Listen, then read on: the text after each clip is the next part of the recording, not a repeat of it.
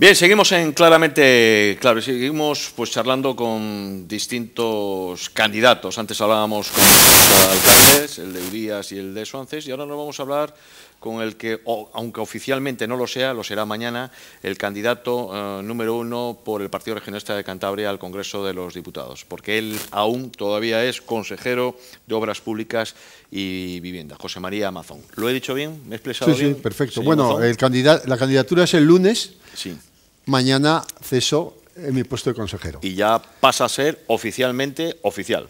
Sí, oficialmente sí, porque ya soy elegido, pero las candidaturas se presentan en la Junta Electoral el lunes. Bien, aclarado todo esto, ¿quién es José María Mazón? Bueno, pues hombre, la gente me conoce bastante bien. Yo soy una persona que llevo mucho tiempo de consejero de Obras Públicas y, y Vivienda. Desde el año 95 estoy metido en política, empezando con Miguel Ángel Revilla como director general de carreteras y secretario general de la Consejería.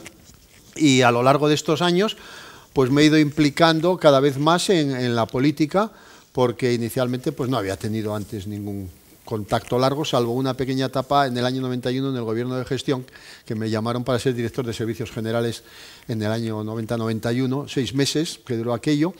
Y, por otra parte, pues yo soy funcionario del Estado, eh, pertenezco al Cuerpo de Administradores Civiles del Estado, y de profesión soy ingeniero de caminos, canales y puertos. He trabajado eh, previamente en, la empresa privada, yo he trabajado en el sector de la construcción, en empresas importantes y también en el sector de servicios como delegado de alguna gran empresa multinacional. Y luego ya eh, pues hice las oposiciones al Estado, ya con cierta edad, porque ya las hice con 38 años, casado, pero bueno, me puse a trabajar, a estudiar. Yo siempre he tenido una inclinación y una vocación por el servicio público, siempre me ha llamado la atención y desde joven pues siempre me he preocupado de las cuestiones sociales, de eh, las cuestiones políticas. Y decidí dejar la empresa privada y entrar en el sector público. En ese momento es cuando hice las oposiciones. Y luego pues me fueron llamando, porque cuando me llamó Miguel Ángel Revilla no me conocía de nada, pero bueno, le hablaron de que yo tenía un perfil que era lo que él necesitaba y di el paso adelante, porque como digo, como yo siempre he estado bastante implicado en estas cuestiones, eh, en el momento en que me llamó, pues es como te dice, mm, en vez de hablar tanto, ahora mójate y, y ven aquí a arreglar las cosas, porque yo había sido muy crítico con algunas cuestiones, sobre todo del gobierno anterior, eh, de otras etapas, y claro, en ese momento recibes la llamada y entonces eh, realmente yo le dije claramente que yo en aquel momento dice, oye, yo no soy político ni estoy en el Partido Regionalista. Y dice, no, no, no, no importa, yo necesito una persona de tu perfil. Y acepté y luego ya, pues me impliqué en, la política, en el partido regionalista y por supuesto ya soy militante, he sido, en fin, diputado, una trayectoria bastante eh, pública, con lo cual en ese sentido se me conoce. Y esto es un resumen de la última etapa de mi vida, de la juventud es otra historia. ¿Cómo encontró Cantabria y cómo está ahora? Bueno, pues nosotros cuando empezamos en el año 95, y Miguel Ángel me llamó para, eh, cuando él era consejero de Obras Públicas y yo director general de Carreteras, eh, y secretario general, la verdad es que encontramos, mm, más que hablar de Cantabria, puedo hablar de cómo encontramos la administración. ¿Eh? La administración en aquel momento de la comunidad autónoma era caótica. ¿eh? Habíamos pasado una etapa en el presidente anterior, que acabó además siendo inhabilitado, en la que no había organización, no había procedimientos las carreteras y las obras públicas estaban totalmente abandonadas después de muchos años de, desinversión. Y entonces lo que decidimos fue eh, establecer un plan, hacer un plan de carreteras, eh, hacer una ley y luego procedimientos dentro de la Administración en materia de contratación, en materia de subvenciones, la organización del esquema organizativo. Y yo en esto, pues Miguel Ángel confió en mí y yo creo que hemos ido mejorando mucho, especialmente en la Consejería de Obras Públicas. Digo que en aquel momento Cantabria estaba eh, poco organizada. ¿eh? Por lo menos lo que son las instituciones, las que son las instituciones eran relativamente nuevas y estaban no muy consolidadas. Entonces, a lo largo del tiempo esto ha ido cambiando. No digo que sea eh, por mi parte, yo solo me refería antes a la materia que yo llevaba, pero en general las instituciones se han ido consolidando. los ayuntamientos, el Parlamento, todo lo que hay alrededor se ha ido consolidando y en estos momentos tenemos unas instituciones sólidas. Eh, también es cierto que ha habido un auge y una, digamos, una punta en, lo que es la política y el prestigio de los políticos. Y sin embargo luego ha entrado en decadencia. Y entonces llevamos unos años en los que lo que es la política y el prestigio de los políticos ha empezado a bajarse. Y yo creo que en la gente tiene cierta decepción con la clase política en general, de una manera injusta, porque en la política hay muchísima gente muy valiosa y se trabaja mucho, y lo saben cuando llegan los que han estado en la oposición al gobierno o cuando llegan al Parlamento y se dan que no es tan fácil. Pero sí es cierto que la imagen pública de la política y de los políticos se ha ido deteriorando y en estos momentos no está pues, en el momento álgido, por decirlo de una manera. Por eso digo que Cantabria yo creo que en ese sentido ha tenido en la parte política, pero en la parte económica ha tenido una mejora sustancial. Eh, a lo largo de estos años, sobre todo en los primeros años de, la autonomía, eh, yo recuerdo que eh, para celebrar los 25 años de la autonomía, en un estudio del Banco de Bilbao, que tiene su centro de estudios, es muy, prestigioso, hablaba de, cómo habían evolucionado las, comunidades autónomas. Y Cantabria, en aquellos primeros 25 años, había ido muy bien porque el stock de capital público había evolucionado muy favorablemente y entre ellos estaban las infraestructuras, carreteras y comunicaciones, pero también otras, como colegios, institutos, hospitales, y en esos 25 años había subido claramente. Luego, realmente los últimos 10, ya sabemos que nos ha cogido la crisis por el medio a todos y Cantabria también ha tenido su crisis, pero yo creo que ya se tocó fondo y en estos momentos ya llevamos varios años, tres años, otra vez de crecimiento, de mejora de empleo, y bueno, pues todos un poco preocupados por el futuro de Europa, que siempre nos afecta, porque afecta a España y afecta a Cantabria, pero yo creo que en estos últimos años, y yo hablando de los 24 que he estado en el gobierno, hemos visto una línea ascendente durante los primeros años, luego descendente y luego ha vuelto a subir. Esto hablo a nivel general, social, económico y lo que es eh, la vida pública, no solo la, la política, que la sociedad civil tiene mucho que decir quizá más incluso que la clase política. Bien, como es habitual, nos acompañan tres compañeros de la prensa, David Laguillo, Jesús Herrera y Andrés Alonso. Cuando quieras, David. Eh, sí, le quería preguntar si los ciudadanos le dan su confianza para ir a Madrid, eh, ¿cuáles considera usted que son las prioridades de mayor urgencia al respecto de su departamento para reclamar en Madrid en obras? Sí, bueno, pues esto ya lo hemos dicho y lo venimos diciendo a lo largo del tiempo. Nosotros creemos que tenemos una carencia importante en infraestructuras y se nos ha ido dejando de lado a pesar de las múltiples promesas que han venido haciendo todos los partidos. Eh, por lo tanto, este tipo de, de reclamación va a estar en primer lugar. Ahora vamos a poder reclamar, si estamos en Madrid, con fuerza de un voto o dos o los que sean. Eh, esto cambia radicalmente eh, los compromisos de, los gobiernos. ¿Qué se incluye en esto? Pues por supuesto el ferrocarril, el AVE o el tren de alta velocidad desde Palencia hasta Reynosa, los tramos de Torrelavega Santander que avancen radicalmente, que se ponga en marcha el ferrocarril a Bilbao, el corredor del Cantábrico empezando por Bilbao Santander. Por cierto, aprovecho que he estado en Asturias la semana pasada, de hecho he salido me han hecho entrevistas en los mayores periódicos de, Asturias, en los dos principales, eh, buscando el apoyo de los asturianos para este ferrocarril del Cantábrico. Y tengo el apoyo de alguna institución muy valiosa que comprenden que hay que empezar por Bilbao Santander. Y vamos a intentar formar un lobby del norte de todas las comunidades para que este corredor no se abandone. Aparte de esto, tenemos otras infraestructuras en materia de carreteras, los terceros carriles Santander-Torre-la-Vega, el de Bilbao, el puerto de los Tornos, eh, terminar el desfiladero de la Armida y distintas obras que vamos a exigir. Y también, por supuesto, la parte directamente económica, como son las aportaciones para Valdecilla, que este año, al no aprobarse los presupuestos, decayeron, y ahí había 22 millones en el proyecto, y también para eh, el campus de Comillas. En fin, toda esta deuda histórica nosotros la vamos a tener puesta encima de la mesa desde el primer momento. ¿eh? Eh, lo primero, Cantabria.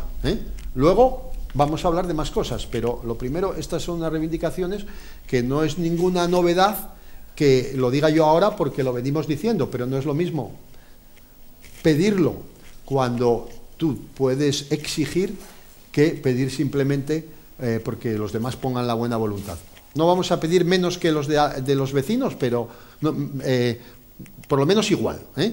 Se ha invertido mucho dinero en las regiones eh, vecinas y no en Cantabria. Pues nosotros queremos nuestra, nuestra parte proporcional, nuestra cuota. Jesús. Mm, usted lleva ya muchos años en política y unas cuantas campañas a las espaldas, pero por vez primera está al frente de las operaciones. Como candidato, no sé si hablar de emergencia, porque las elecciones generales no estaban en el guion ideal del PRC. ¿Cómo se siente? ¿Cómo afronta esta responsabilidad importante? Bueno, pues yo la, con mucha ilusión, ¿eh? tengo mucho, mucho ánimo. Eh, una vez eh, superada la primera sorpresa de cuando Miguel Ángel Revilla me llamó para que yo la encabezara, pues ya me propuse pues ir a, todas, ¿no? A darlo todo y estoy totalmente mentalizado y además eh, creo que he conformado un equipo de gente que me va a arropar, espero que en Madrid y también en la campaña, un equipo que hemos presentado esta mañana eh, a la prensa, a los medios, y yo desde luego la, la afronto con mucha ilusión. Yo creo que que podemos aportar mucho. Vamos a aportar cosas para la región en Madrid. ¿eh? No es un tema personal, no es una ambición personal, pero yo ahora mismo ya asumo pues, el papel que me han comentado el partido. ¿El escaño está al alcance? Yo espero que sí, yo vamos, yo estoy seguro, estoy segurísimo que el escaño está al alcance, pero aspiramos a más incluso, ¿eh? Vamos a ver eh, qué opinan al final los cántabros cuando metan la, papeleta en las urnas, pero yo creo que, vamos, no, no contemplamos otro escenario en estos momentos. Andrés. Vaya por delante que yo felicito al Partido Regionalista de Cantabria porque creo que el candidato que ha escogido es perfecto, porque eres un hombre con una larga trayectoria intensa, profesional, sin aristas, que no genera prácticamente ningún rechazo, y por eso creo que es una nominación muy acertada. Pero sí pregunto yo, como ha preguntado hace poco algún político de, de otros partidos, ¿por qué ahora el PRC se presenta a estas elecciones generales y no antes? Bueno, yo creo que en estos momentos es obligado. Primero, es una cuestión de estrategia política y, de partido. ¿no? Eh, habiendo unas elecciones autonómicas y municipales al cabo de un mes, lo que nosotros no podemos es dejar de estar presentes. Hay que estar en la campaña y, y la gente tiene que tener una papeleta del PRC. ¿eh? Porque es que si no vamos, la gente se puede olvidar de que somos casi la primera fuerza de Cantabria. Tenemos un 30% de los votos en las últimas elecciones al, mismo nivel que el Partido Popular, que nos sacó muy pocos votos y solamente un diputado. Entonces es una cuestión obligatoria. Pero además de eso, además de eso, hay otro factor que es el decisivo, más que ya la estrategia del partido, sino que eh, en Cantabria nos hemos dado cuenta, yo creo que todos, todos, que hace falta una representación en Madrid. Porque hemos visto cómo a lo largo de estos últimos años, de esta legislatura, otros partidos que tenían representación, tenían voz y obtenían resultado. Ponemos el ejemplo de Nueva Canarias, que consiguió grandes inversiones, incluso otras cosas, como que un canario viaje a la península por 26 euros, cuando un peninsular para ir allí, pues le cueste 10 veces más. Bueno, esos son eh, logros que han conseguido los diputados de Canarias a lo largo de las negociaciones que han ido teniendo, tanto en presupuestos como en elecciones. Estamos viendo que el Partido Nacionalista Vasco, el PNV, también cuando pide su voto, también exige sus contrapartidas. En Galicia tienen su propio partido, el bloque nacionalista. En Asturias, Foro Asturias, se une al PP, pero también consigue cosas para Asturias. En fin, esto yo creo que es la razón fundamental. Nos estamos dando cuenta de que independientemente de la defensa de España que siempre tenemos, de la cual si quiere podemos hablar, hace falta una voz que represente los intereses de Cantabria únicamente y exclusivamente en el Congreso. Y esto es el motivo último de, la decisión. Y yo espero que muchos la compartan. Eh, o sea que son dos razones que hacían prácticamente obligatorio presentarnos. Eh, ¿Cuándo cree usted que Cantabria recuperará la normalidad total en cuanto a las infraestructuras después de las terribles inundaciones que hemos vivido?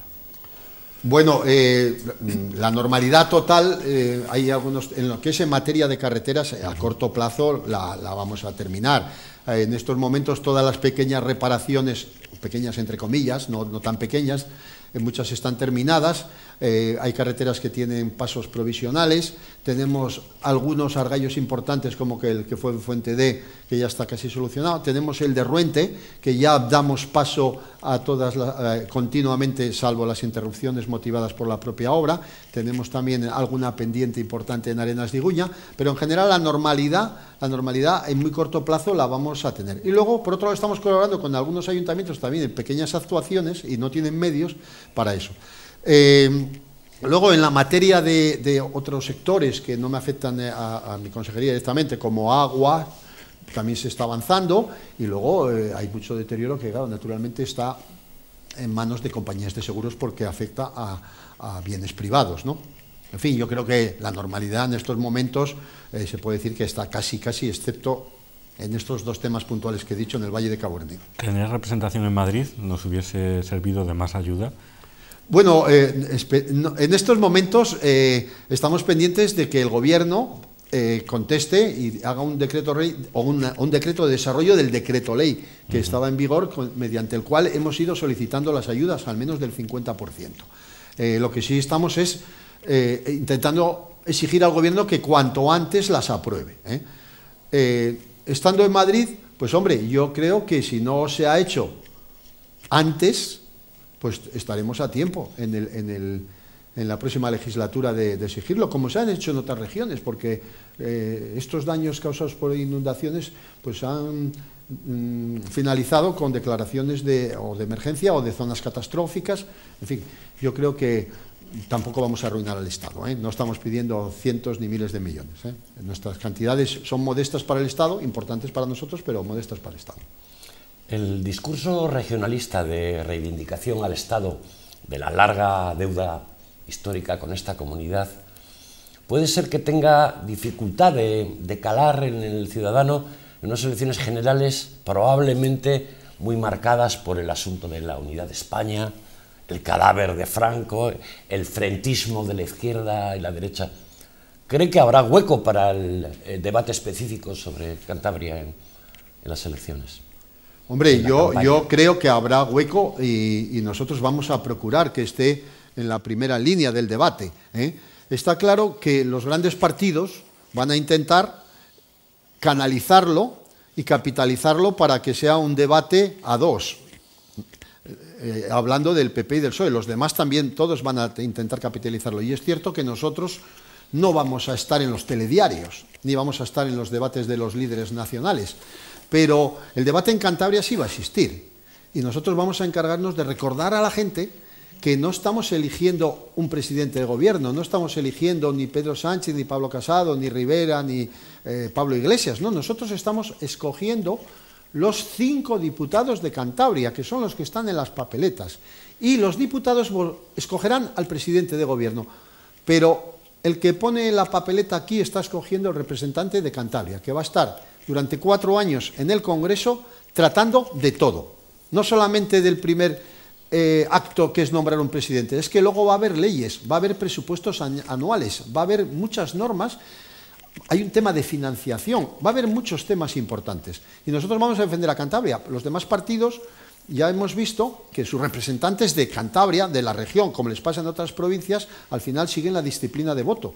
Y si mañana en la financiación autonómica Cantabria sale perjudicada, pero en Madrid le dicen que tiene que votar porque hay pacto con Galicia o con otros, siguen la disciplina de voto. Nosotros no. Por eso el debate yo creo que nosotros vamos a intentar traerlo aquí y no vamos a escurrir el bulto de los temas nacionales porque nosotros no escurrimos el bulto de la unidad de España ni del tema de Cataluña. En esto lo tenemos muy claro y Miguel Ángel Revilla siempre lo ha dicho. ¿eh? Nosotros ahí siempre hemos defendido a España la unidad, la legalidad y la Constitución. Y hay que respetar la legalidad, hay que respetar la Constitución. Y con eso, la consecuencia es que hay que respetar la unidad de España, los procedimientos y las instituciones. Porque antes dije lo de las instituciones. Una de las cuestiones clave en, el desarrollo de los países es unas instituciones serias y sólidas. Los países subdesarrollados, lo primero que les falta son que no tienen instituciones. Pero en los países desarrollados, tienen unas instituciones sólidas, permanentes, incluso van cambiando los gobernantes, incluso pueden ir contra los gobernantes, como estamos viendo casos como en Estados Unidos, que a pesar de que el presidente quiera algo, tiene que pasar luego sus filtros de sus senados, sus congresos, y eso nosotros siempre lo estamos defendiendo. Queremos mantener el prestigio de las instituciones, que es fundamental, a pesar de que haya una ola en contra en algunos grupos en algunos partidos que son incluso antisistema, que en el fondo son unos irresponsables, porque no hay cosa peor que el caos, y al final son los que siempre salen más perjudicados. Cuando fallan estos, eh, eh, eh, estos colchones, los más perjudicados son los más débiles, son los más modestos, son los más pobres. A estos les defiende el Estado, les defiende que haya leyes, que haya una seguridad social, en fin, que haya una, una representación de verdad clara. Ese yo creo que debe ser el mensaje que se tiene que dar durante la campaña electoral, porque el ejemplo claro de que antes lo decía de Nueva Canarias, es decir, un solo diputado, lo que ha conseguido en Madrid, pues aquí hay que, el mensaje yo creo que debe ser que tiene que ser la voz de Cantabria en el Congreso del Partido Regionalista. Pues sí, sí, totalmente de acuerdo. Yo hoy lo he dicho, dije, es que los cántabros, si lo pensamos bien, tenían que votar al PRC. Toda Cantabria tenía que votar al PRC para que no se pueda perder esta oportunidad. Eh, recordar que estamos hablando con José María Mazón, quien va a ser eh, candidato número uno por el Partido Regionalista de Cantabria al Congreso de los Diputados. Una pregunta y nos vamos a la publicidad.